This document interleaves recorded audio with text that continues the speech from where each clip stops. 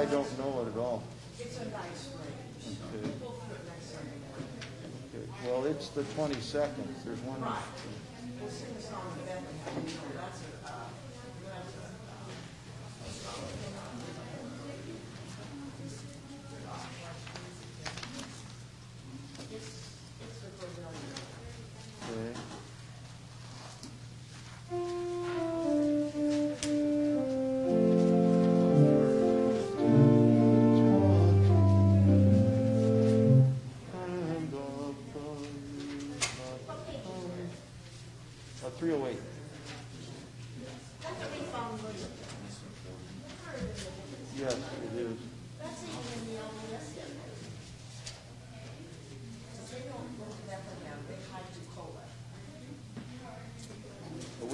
going to do all four verses?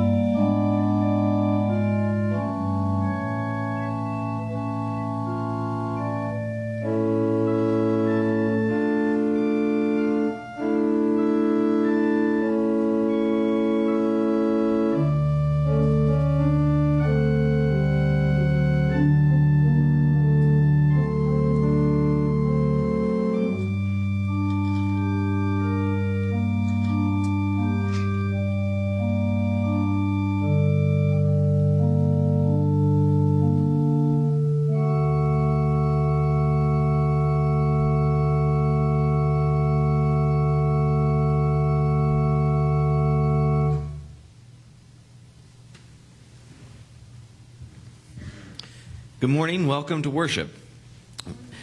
Whether you're joining in at home or here, um, we're glad you're here. I just want to share with you uh, my usual uh, small print disclaimer. For those who have come to gather, we're asking you to wear masks, and we do that both for your own safety and for the people around you. Um, it's just as much to protect them as to protect you.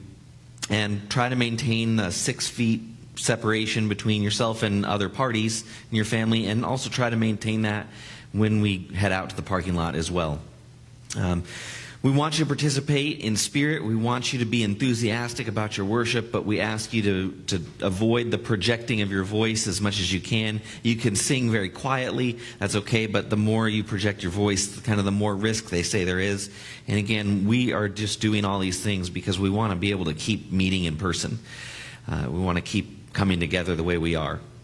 Um, so, all that said, if if you are here, we're glad, but there is some risk in being here. We're taking precautions to make it as safe as possible, but it's not as safe as tuning in from home, and you're welcome to do that via our live stream through Facebook Live every morning. Now, we have a few other announcements to go over. The Presbyterian women are getting together this Tuesday, September 15th at 10 a.m. at the church. With the weather permitting, you'll sit outside and have your meeting outdoors. Bring a lawn chair uh, and a surfaced uh, a tray or a lap board or something to write on. You're going to celebrate the Presbyterian women's birthday and have the first meeting of the fall wear a mask, practice social distance. But that's a good meeting. This is the first time I think the Presbyterian women have gotten together since this all started. Today, we are taking communion, so you're invited to stay. This will be after the worship service. We will gather outdoors in the parking lot in the shade, uh, and we'll take communion together, and we'll have a little bit more music. And if you didn't bring your own elements, we have pre sealed packages of communion for you. So a little piece of cracker and the juice, so you can use that if you didn't bring it. So everyone's welcome to say it's the Lord's table. You're all invited. Uh, and we're also looking for a soundboard helper. Um, so if you're interested in learning, our soundboard technician for many, many years, faithful David Swanson, he may not be with us for much longer. He's planning on moving. So we need to train somebody to take his place. If you're willing to do that job, we will train you to do it. We'll teach you how. It's a useful skill, and it'd be a great way for you to serve your church.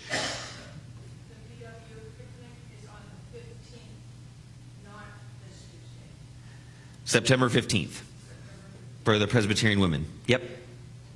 All right. With that, um, let's come together in a time of prayer and we'll pray the Lord's Prayer together.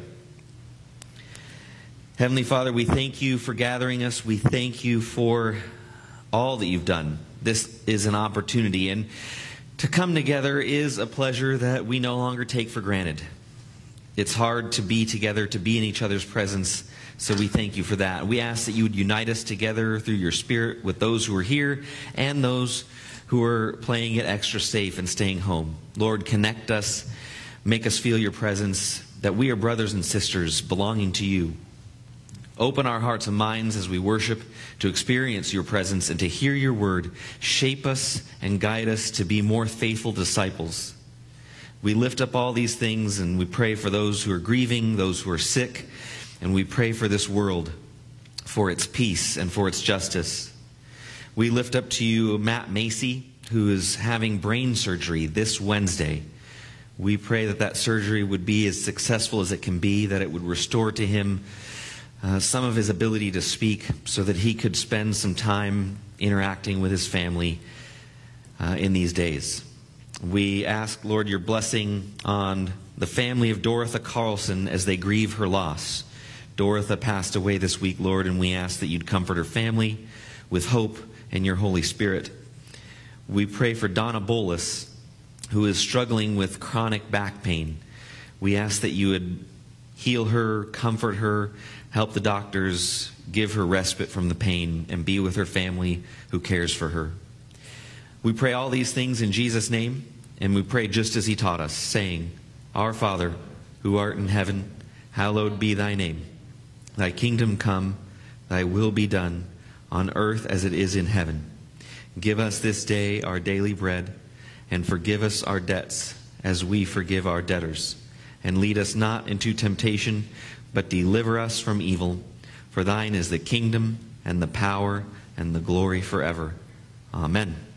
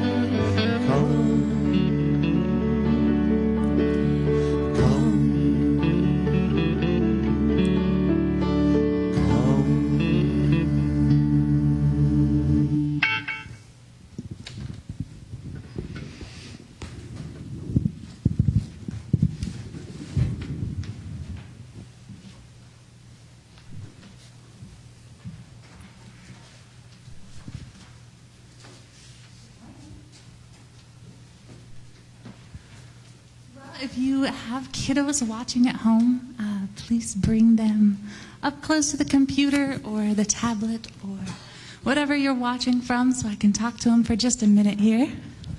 I want to remind you guys that those Sunday school lessons are still available to you online. And for the children's message, I just want to kind of introduce what we're talking about in today's Sunday school lesson. A couple of big words for today, and the first one is obedience. You guys know what it means to be obedient? Well, obedience really just kind of means to do what you're asked to do. So if your parents ask you to go clean your room and you do it, you're being obedient. And it's kind of the same thing with the Bible and the things that God asks us to do. And following those instructions is called obedience to God. And that sounds pretty easy, doesn't it? But the Bible tells us it can actually be pretty difficult. In fact, the Bible says that all people disobey God sometimes, and that disobedience to God is called sin. And sin has consequences. That's our second big word. Do you guys know what consequences are? Well, consequences are really a result of an action.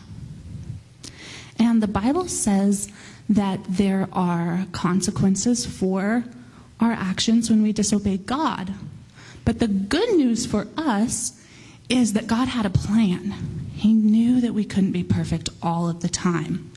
And so he sent his son Jesus, and Jesus is the only person who is able to live a sinless life.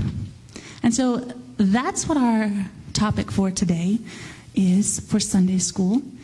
And uh, I encourage you guys to talk that over with your families and have a look at those Sunday school lessons. And let's bow our heads and pray, should we? Okay. God, we love you and we want to obey your commandments. Please help us to do what is right and forgive us when we make wrong choices.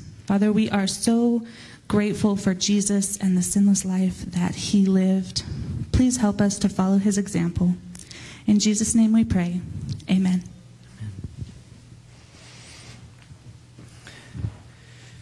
Thank you, Madeline. We come together now to pray a prayer of confession. This is meant not to bring us down, but to give us an opportunity. God is standing ready to forgive. And when we come to worship Him, um, it's good for us to humble ourselves, uh, to remind ourselves that we need God, that, as Madeline said, none of us are perfect. None of us are. Um, we don't pretend like we're better than anyone else. So we worship and we say, God, we admit that we need you, that we need your forgiveness, that we're imperfect, and we ask for your forgiveness and grace. So hear the call to confession. If anyone sins, we have an advocate with the Father, Jesus the righteous, and he is the perfect offering for our sins, and not for ours only, but for the sins of the whole world. Therefore, let us pray. Holy God, Heavenly Father, you formed me from the dust in your image and likeness, and redeemed me from sin and death by the cross of your Son, Jesus Christ. Through the water of baptism, you clothed me with the shining garment of his righteousness, and established me among your children in your kingdom. But I have squandered my inheritance, and I have wandered far in a land that is waste. Therefore, I turn to you in sorrow and repentance. Receive me again into the arms of your mercy.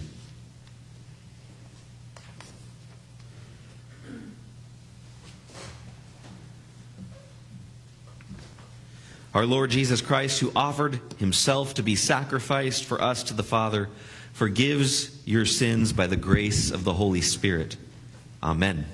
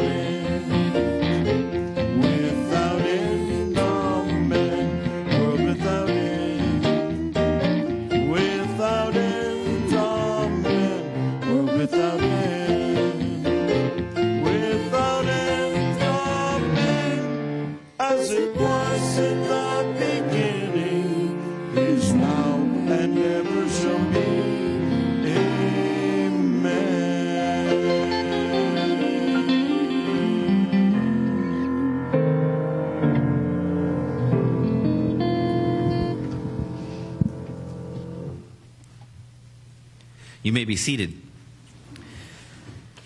As some of you know, some of you who are visiting may not, we are doing a sermon series through the Old Testament called Finding Jesus in the Old Testament. We're finding Jesus. We started with Genesis. We found him in the creation story. We found foreshadowings, types, figures all throughout the book of Exodus that point us to Jesus and what he would do. And now we're looking at the story of David, which in the Bible is told mostly in 1st and 2nd Samuel. We're reading the story of David together and we're finding those images, figures, and types and foreshadowings of Christ in David's life. Last week we did sort of an overview. We started with his death, right? We had his deathbed confession hit list scene, and then we started at the beginning. We took a bird's eye view of his life. Today we're going to look at David as a youth, as a young man, as a shepherd, as an artist, and as a warrior in the moment when he's recognized as being something special. This is in 1 Samuel chapter 16. Listen for the word of the Lord. Now the Lord said to Samuel, and Samuel is the prophet and the priest of Israel, You have mourned long enough for Saul. I have rejected him as king of Israel. So fill your flask with olive oil and go to Bethlehem. Find a man named Jesse who lives there, for I have selected one of his sons to be my king.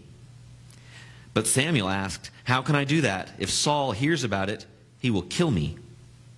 Take a heifer with you, the Lord replied, and say that you have come to make a sacrifice to the Lord. Invite Jesse to the sacrifice, and I will show you which of his sons to anoint for me. So Samuel did as the Lord instructed. When he arrived at Bethlehem, the elders of the town came trembling to meet him. What's wrong? They asked. Do you come in peace? Yes, Samuel replied. I have come to sacrifice to the Lord. Purify yourselves and come with me to the sacrifice.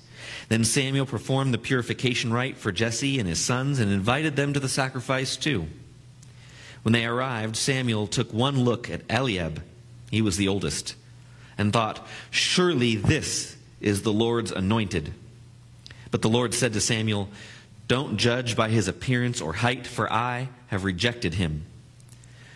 The Lord doesn't see things the way you see them. People judge by outward appearance, but the Lord looks at the heart. Then Jesse told his son Abinadab to step forward and walk in front of Samuel, but Samuel said, This is not the one the Lord has chosen. Next, Jesse summoned Shimei, but Samuel said, Neither is this the one the Lord has chosen. In the same way, all seven of Jesse's sons were presented to Samuel, but Samuel said to Jesse, The Lord has not chosen any of these. Then Samuel asked, Are these all the sons you have? There is still the youngest, Jesse replied, but he's out in the fields watching the sheep and goats. Send for him at once, Samuel said. We will not sit down to eat until he arrives. So Jesse sent for him. He was dark and handsome with beautiful eyes, and the Lord said, This is the one. Anoint him. So as David stood there among his brothers, Samuel took the flask of olive oil he had brought and anointed David with the oil. And the Spirit of the Lord came powerfully upon David from that day on. Then Samuel returned to Ramah. Now the Spirit of the Lord had left Saul, and the Lord sent a tormenting spirit that filled him with depression and fear. Some of Saul's servants said to him, a tormenting spirit from God is troubling you. Let us find a good musician to play the harp whenever the tormenting spirit troubles you. He will play soothing music, and you will soon be well again. All right, Saul said, find me someone who plays well and bring him here. One of the servants said to Saul, One of Jesse's sons from Bethlehem is a talented harp player. Not only that, he is a brave warrior, a man of war, and has good judgment. He is also a fine looking young man, and the Lord is with him. So Saul sent messengers to Jesse to say, Send me your son David, the shepherd. Jesse responded by sending David to Saul along with a young goat, a donkey loaded with bread, and a wineskin full of wine. So David went to Saul and began serving him. Saul loved David very much, and David became his armor bearer. Then Saul sent word to Jesse asking, Please let David remain in my service, for I am very pleased with him. And whenever the tormenting spirit from God troubled Saul, David would play the harp. Then Saul would feel better, better and the tormenting spirit would go away. This is the word of the Lord. Well, we know that this charming, warm relationship between Saul and David won't last. Eventually, Saul will, as I said last week, become jealous of David, jealous of the way he's successful in battle, jealous of the way that people follow him. And eventually, Saul will die on the field of battle, and David will replace him. David will be the chosen king. David will be the one who rules, and he will be the one from whom the Messiah is born. God promises David not only a kingdom, but an everlasting kingdom, and that one of his descendants would be the Messiah. What makes David worthy of this calling? Why is David worthy and Saul is not? What is it about David that makes God prefer him and choose him? What does God admire in a man? Well, the first clue is that God likes shepherds. There's a pattern of God preferring and choosing shepherds. Abel and Cain, the first children of Adam and Eve, Abel and Cain. Abel, God chooses. Cain, God rejects. Abel is a shepherd. Jacob and Esau, God chooses Jacob, not Esau. Jacob is a shepherd. God chooses Moses, and where does God find Moses when he chooses him? Tending his father in law Jethro's sheep. David is a shepherd. It seems that when God wants to find a man to do his will, when God wants to find or choose a man to be a leader, he picks a shepherd. But what is it about shepherds? Does God just like the profession? Or is there something about shepherds that makes a person a good leader? I'm reminded of a story told by Fred Craddock. I've been reading old sermons lately. Uh, I've been doing my weekly devotions on John Wesley's sermons, and I've read some of Fred Craddock's preaching. He was a, a great preacher um, of the last century. And he tells this story about an old man. He says, Once there was an old man who had a dog, and this dog was his only friend. He was a lonely old man. He had this dog. They grew old together. And one day the dog took ill. The dog could barely walk. It was covered in some kind of a rash. So the old man took this dog who he loved, who was his only friend, put it in the car next to him, and drove him to the veterinarian. Carried him into the office, and the veterinarian greeted him. And the old man said, Before I give you this dog to treat, I got to ask you a question. He says, Do you love animals? And the veterinarian stopped for a minute and said, Well, Jesus says that we're to love God first, and then we're to love our neighbor. So I love God, and I love people, I love my neighbor, and then I feel like animals, well, they just think of them later. And the old man turned around and started to leave. And the veterinarian said, what, What's wrong? And he said, Well, this dog is my closest friend and I feel that I can only entrust him to a veterinarian who is a Christian. And then he left. Now, I'm not an animal rights activist, I eat meat. But animals are living things, and animals feel pain, and animals deserve compassion. Animals deserve to be treated with love. That is a fundamental Christian value. The Sabbath law given in Exodus gives rest to humans and animals alike. Go to the next slide.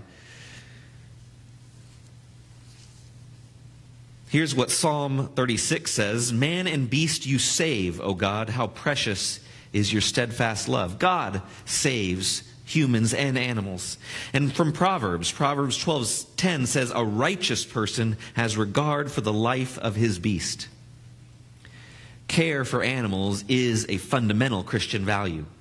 And what shepherds do is to care for creatures that are weaker and more vulnerable than they are. And in that way, shepherds show compassion compassion for the weak, the lost, and the vulnerable. And that is why God chooses shepherds when he looks for a leader. In the whole Gospel of John, Jesus only tells one parable. Only one of his sayings is specifically called a parable, and it's a parable you know.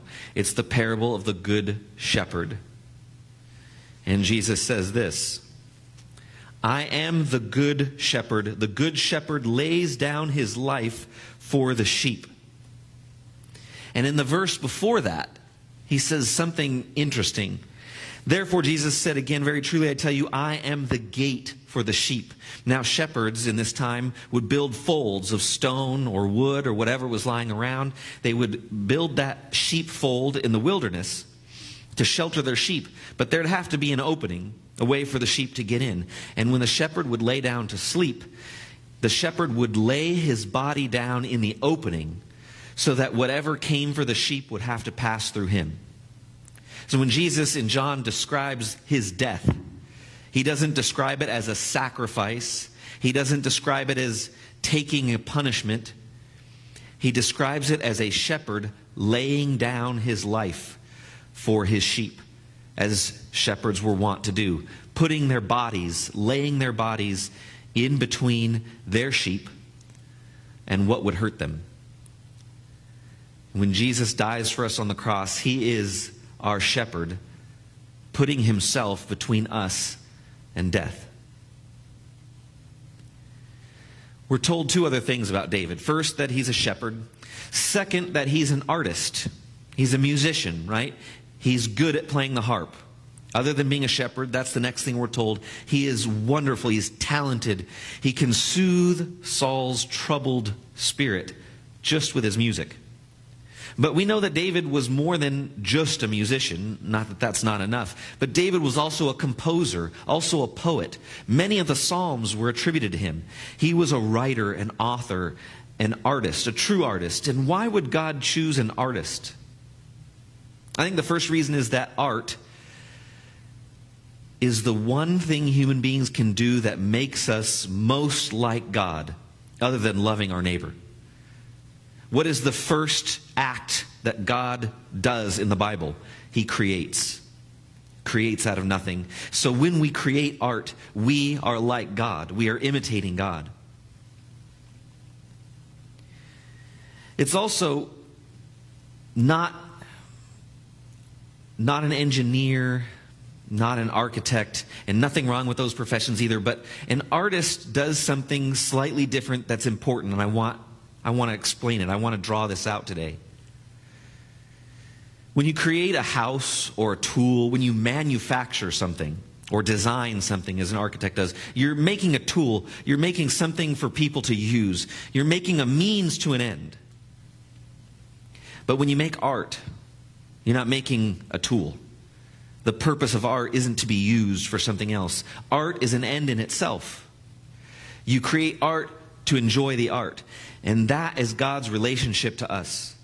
God did not make you as a slave. God didn't create you to do something for Him. God doesn't need us. He doesn't need you. He creates you because He loves you. He creates you for no other use, no other purpose than to love you and for you to love Him. So when God chooses a man like David and chooses an artist, He shows us that is His relationship to us. God created you the way an artist creates a piece of art to be loved. There's also something about artists that I've noticed, and it's artists, especially poets, are sensitive. They have a sensitivity to the feelings of the people around them. They have a sensitivity to nature. And they can, to some extent, see inside the hearts of their fellow human beings. And why would this be important in a leader? Well, have you ever heard of the golden rule? Go to the next slide. Golden rule says treat others the way you would want to be treated. But if you notice, that's an incomplete sentence. Treat others the way you would want to be treated, what? If you were them. Treat that person the way you would want to be treated if you were in their shoes. Because right? they're not you. And that requires imagination. To treat someone the way you would want to be treated if you were them requires you to imagine that you were them. And this is hard for us. It doesn't come naturally. Because, especially for people who are different from us, we have to imagine ourselves in the place of another gender. We have to imagine ourselves in the place of an immigrant. We have to imagine ourselves in the place of a foreigner, of someone who is not like us. If we are to be moral, we must have imagination. That is why when God chooses a man to lead, to be king, to be the father of the Messiah, he chooses a shepherd who has compassion and an artist who has imagination. There's one more thing we're told about David, and that's that he is a brave warrior. Three things. He is a shepherd, and so he has compassion. He is an artist, so he has imagination, and he is a brave warrior. And we know from last week that it's not his violence that God admires. It's not how many Philistines he kills. So it has to be David's bravery, David's courage. And there's lots of places courage can come from. There's lots of motives for bravery. Someone can be brave because they're not too bright. Someone can be brave because they're reckless. Someone can be brave because they seek glory, because they're ambitious. But David's bravery, we know where it comes from. It comes from his faith. David trusts God. And so he is brave, so he can put his life on the line. He can go into battle and fight Goliath because he's faithful, because he trusts God. And there's something comforting, I think, here. And this is something I'd never noticed before, but I've been reading books on David. Never thought about this. It's a simple fact. But do you know there is not a single supernatural occurrence in the entire story of David? David sees no miracles. When God shows Jacob, Jacob sees miracles. God chooses Moses, Moses sees miracles. But David sees not a single supernatural occurrence, not a sign or a wonder or a miracle in, the, in his whole lifetime. Which means that David trusted without proof, without evidence. And so many of us struggle with that. I hear the stories, I hear people's private confessions of doubt. I wish I had a sign. I wish I could see a miracle. I wish I had proof. Well, David the man whose faith never wavered, the man whose faith was good enough to make him king and father of the Messiah, never saw a sign, never saw a miracle,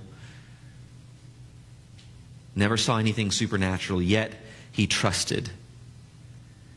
And that trust made him worthy to be king, worthy to be the father of our Messiah, who is our shepherd, who lays down his life for us, his sheep.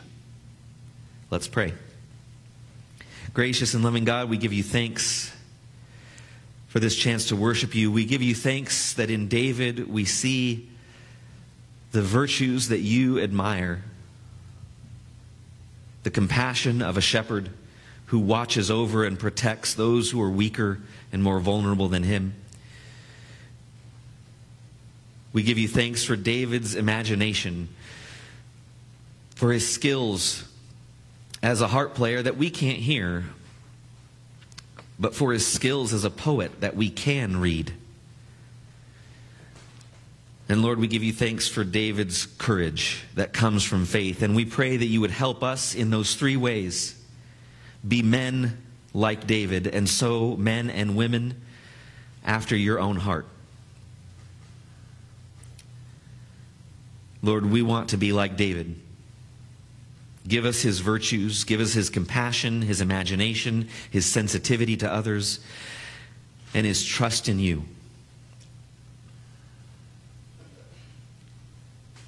Lord, we are all of us, whether we are children or men or women, we are leaders, whether it's in our families or at our school or in our neighborhood or in our church.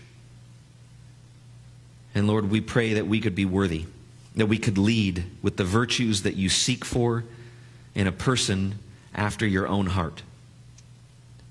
I pray these things in Jesus' name. Amen.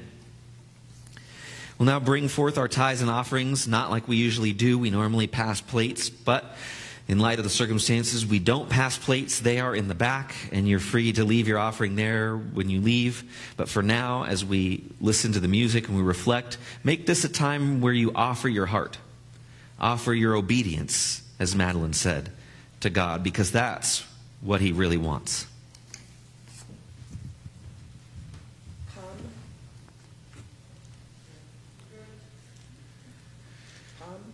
there's a button somewhere. Help. Where's the button? Um. Sorry.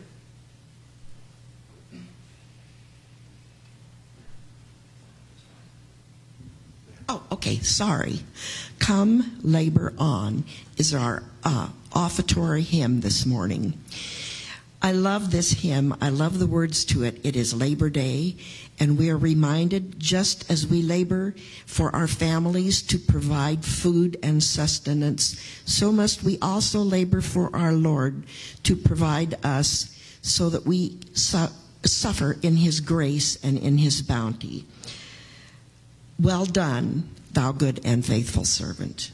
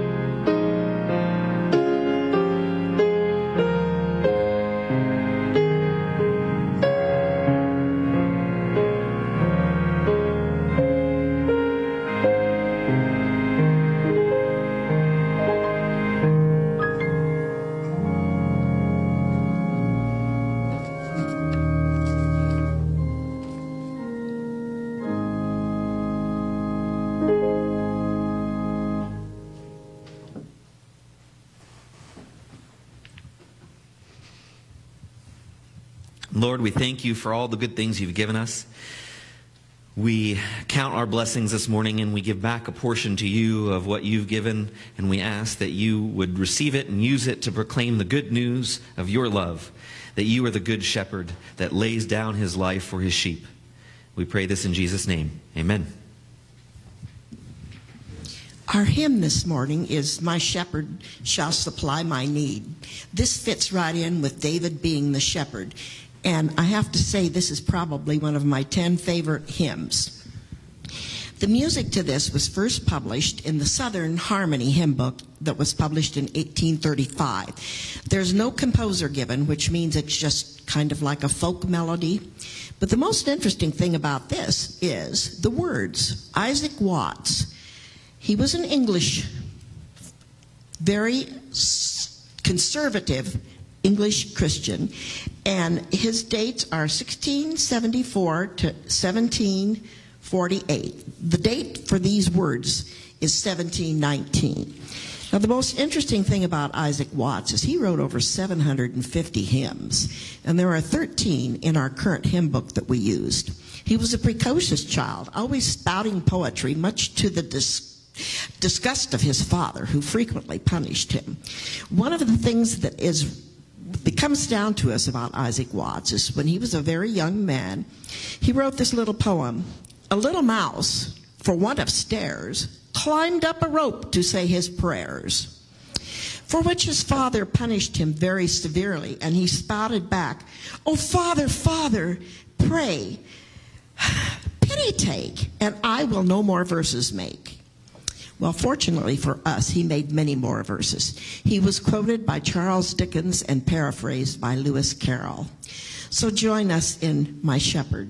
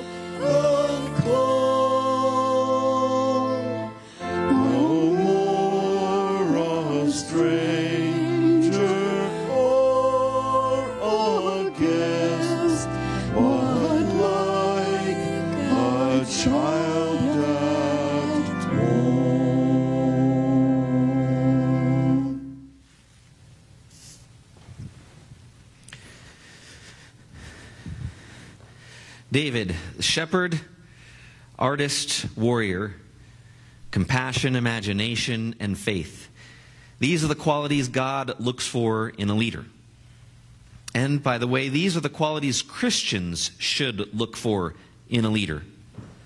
And I have to say, too, if I didn't make it clear, I don't think the gender matters at all. In my experience, compassion, imagination, and faith are qualities just as not just as frequently found in women, if not more. But more than that, these are the qualities I think that we should look to cultivate in ourselves.